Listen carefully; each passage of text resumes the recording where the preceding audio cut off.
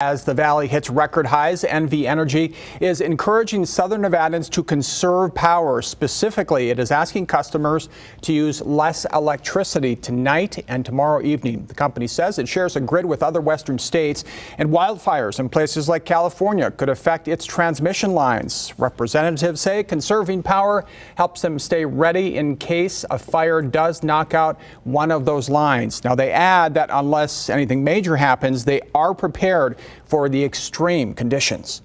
We don't anticipate any wide scale outages or outages of any sort related to resource adequacy. Certainly, when the temperatures are high and load is high, that, that risk is a little bit elevated, but certainly not to the point where we're overly concerned. We prepare for these days all year round.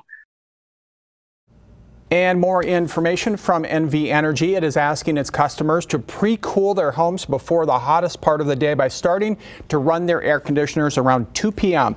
Now, they also ask you don't turn your AC any lower than 78 degrees. On top of that, they're asking customers to try to use less power during their peak hours from 5 in the evening to 9 at night. Now, that can mean anything from turning off a pool pump to not charging an electric vehicle during those hours.